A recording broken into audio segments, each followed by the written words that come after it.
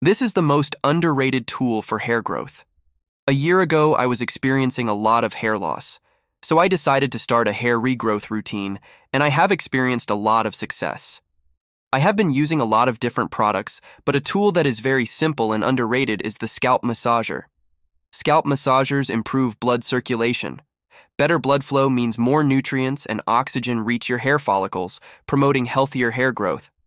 This increased blood flow can lead to stronger, thicker hair over time and can even help reduce hair loss.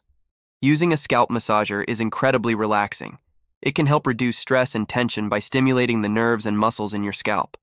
If you use oils or treatments on your scalp, a scalp massager can help enhance their absorption by gently massaging the products into your scalp. Regular use of a scalp massager can also help exfoliate your scalp, removing dead skin cells and reducing dandruff.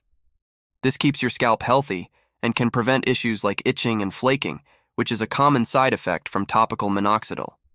So if you have not included a scalp massager to your routine, make sure to do so.